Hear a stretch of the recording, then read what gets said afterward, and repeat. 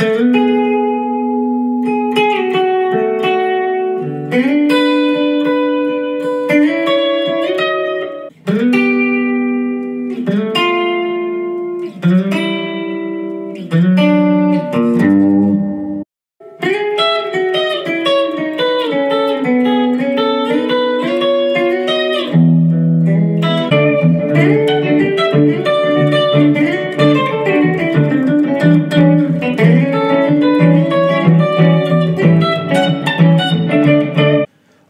back to another episode of Stich Method. Today we're going to teach you a couple of things. Number one, how to spice up any moment you want to spice up on the guitar, and also totally demystifying and truly understanding the term sixth or sliding sixth. Uh, in my personal opinion, this is the worst term ever to be invented in music. Uh, it really confuses the out of people and it, it's so simple to understand except the terminology that's involved is what makes it very very confusing. So what are these sliding sixths and, and, and, and how do we use them? Well a sliding sixth or sixth is when you hear people do just like you saw in the intro this type of thing. You know or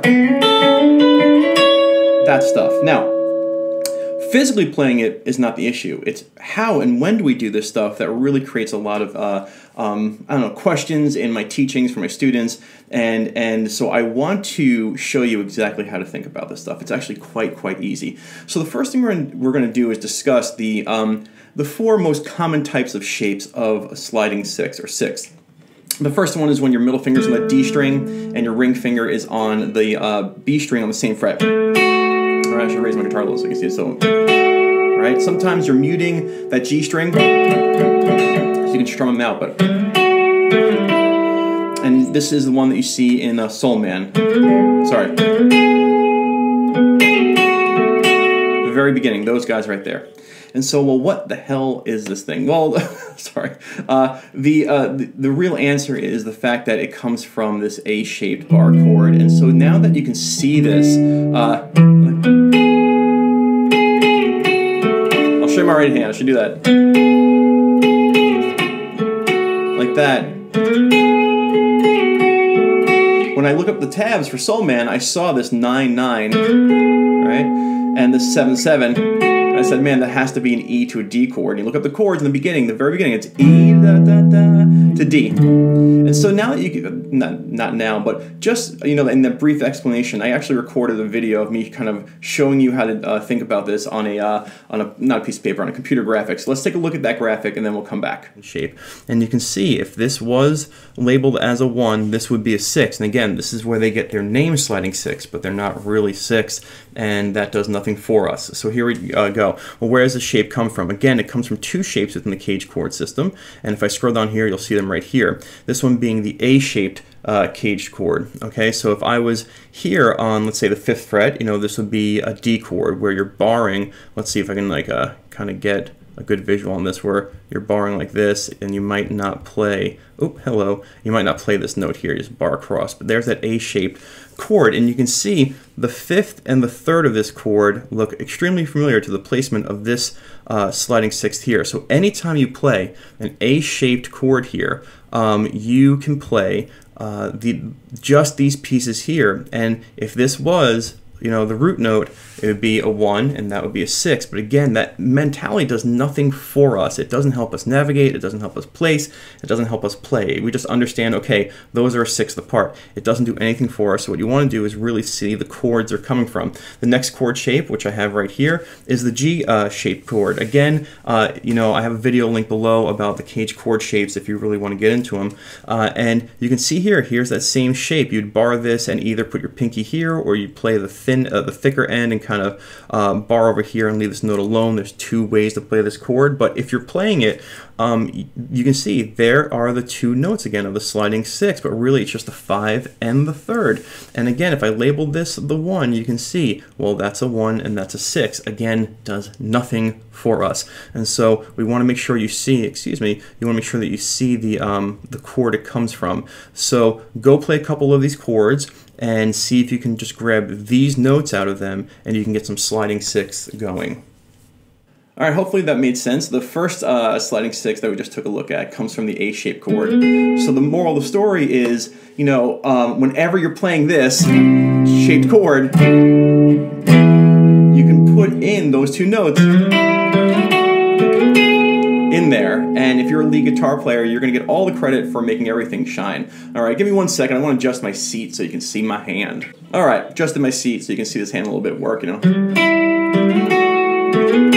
All right, and so now, uh, again, the sliding six is nothing more than a chord tone, and um, and they slide well. If you if you have chord progressions that move like this, you can slide them together, and that's where they get their term. Now, the next one we're going to take a look at is on the same string set, but it's this note and this note.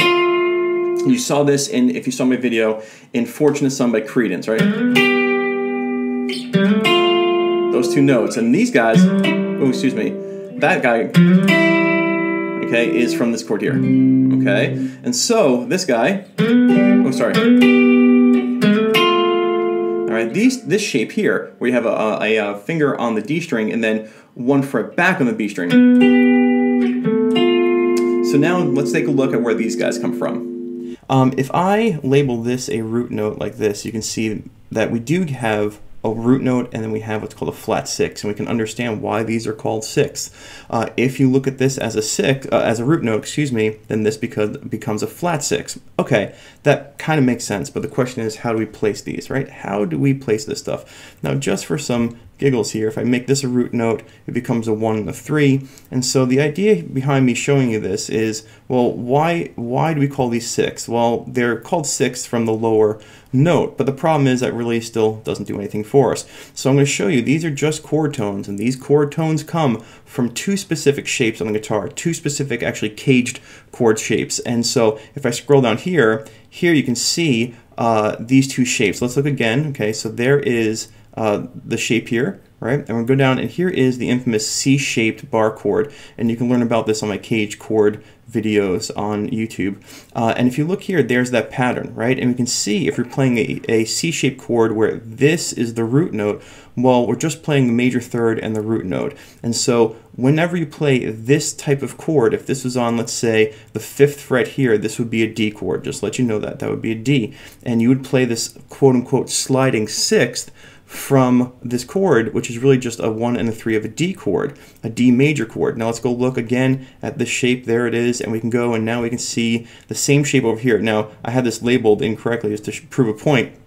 This here is the A minor shaped chord. And I was showing you what I was doing there. If, if I made this uh, a different root note, if I made this the root note, the chord makes absolutely no sense. But um, I just wanted to go back and show you this. So here we have uh, an A minor shaped chord. Let's say this is the fifth fret. This would be the seventh fret, seventh fret, sixth, and five, fifth fret. These numbers here are the intervals. So here we go. So what we're going to do here is if you look here, um, this would be a D minor chord if this is on the fifth fret. And when you're playing this shape out of this chord, you can see it exists, you're getting the fifth and the minor third. So the this shape here, excuse me, this shape here can be played whenever you're playing um, a C-shaped chord anywhere and you want to grab the quote-unquote sliding sixth within it and give a little bit of uh, um, pop to your your um, solo or your song. And whenever you're playing a an A minor shaped chord you can play this quote-unquote sliding sixth within it. And just to prove a point again if I make this the root note now the whole chord looks weird but you can see there's the one and there's the flat six as people call it and then if I do it for here, there's the one and there's the flat six. But we don't, they're not really six. Because look at this chord now. This chord makes absolutely no sense. And this chord here makes absolutely no sense. So really, you know, you want to know the root note of the chord you're in, and if the shape itself has one of these uh, sliding six shapes in it. Excuse me, there's the root there. All right, so that's where the first shape comes from. Hopefully that made sense. All right, so now you see we have a, a C chord, a C-shaped chord. So if you write a chord progression and you have, you know, uh, a C chord here, C-shaped chord, excuse me, and if you don't know this stuff, you can look at my caged chord videos uh, on my channel. And so if I was doing this, like,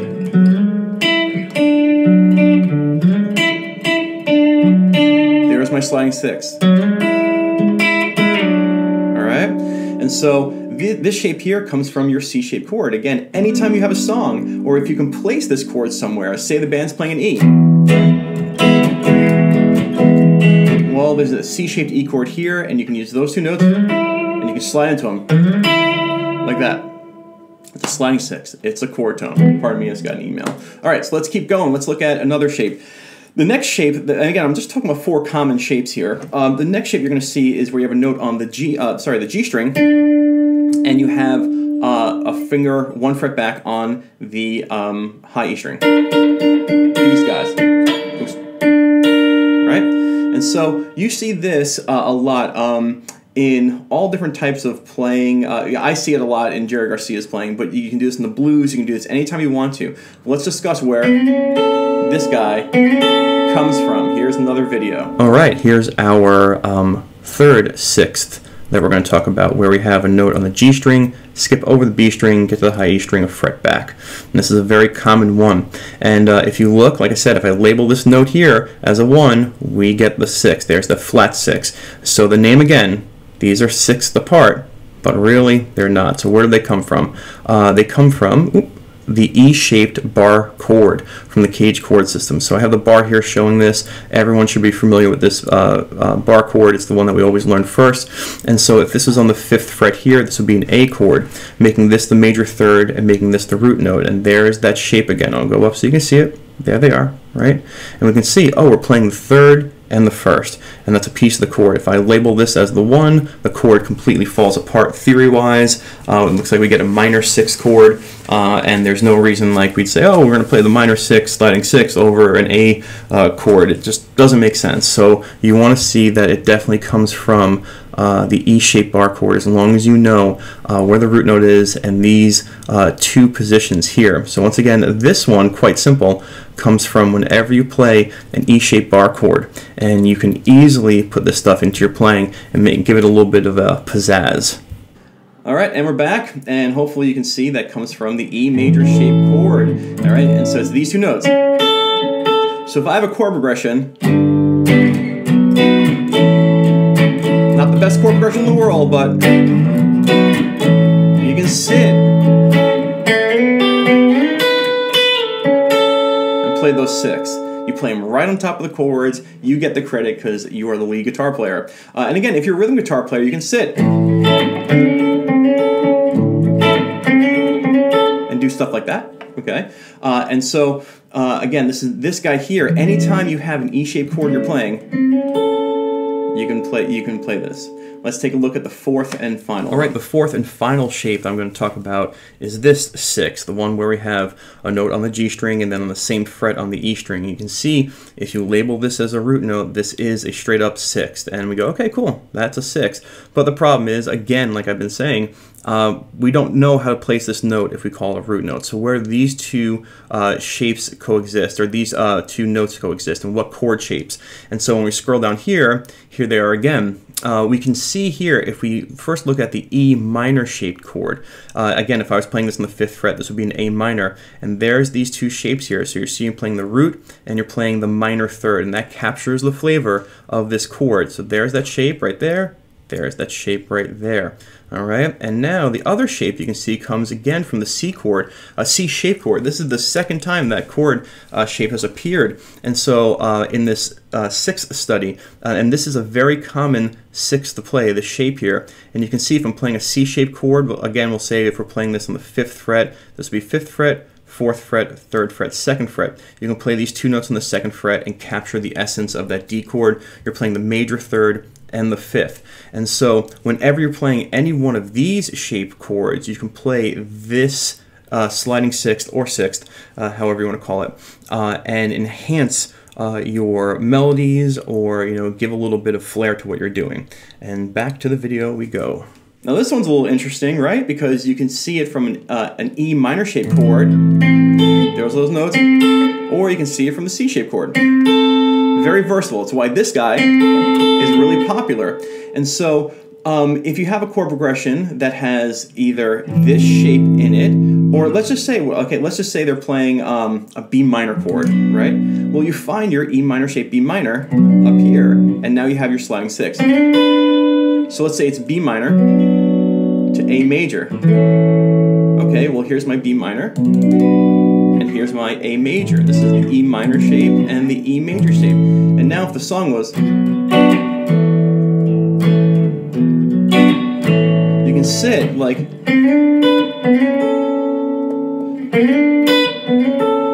and play these little sliding six, which are just pieces. One of my favorite examples of uh, the, these these guys on the G and E string is in um, another little piece of my heart, Janis Joplin. Um, it, it, it, ends it, the, riff like the opening riff ends with this like sorry and then he uh, the guitar player does this and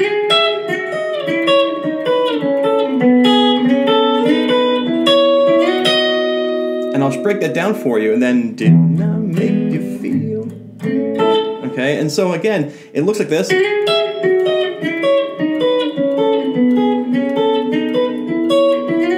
And I want to talk to you about this here because this is what you can throw in your soloing anytime you want. Uh, this they're they're going into the key of E here. They're going in and it's and they're holding an E chord.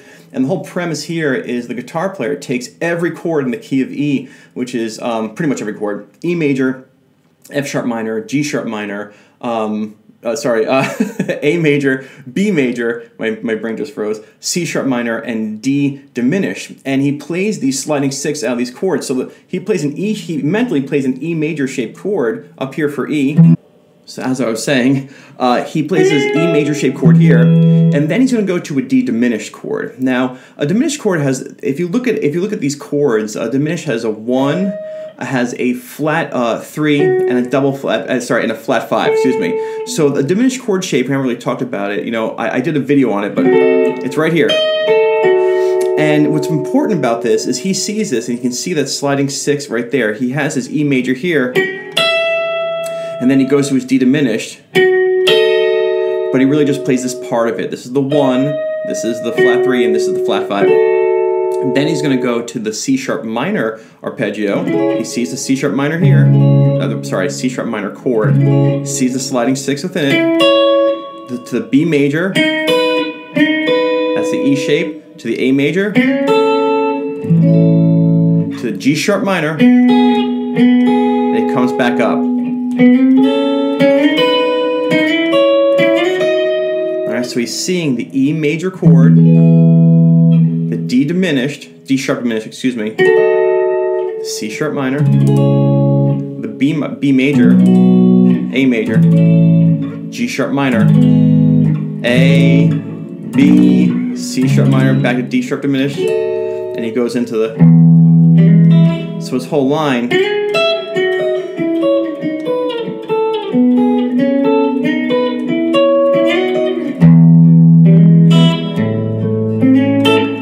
built around uh, using the chords within the key uh, and and seeing them as the bar chords, and then grabbing the sixth within. And you can do this in your soloing. If you're soloing in a key, say you're the song's in E, right? You're playing an E, like, and you're soloing, and you want to add some flair. You can do the same exact thing.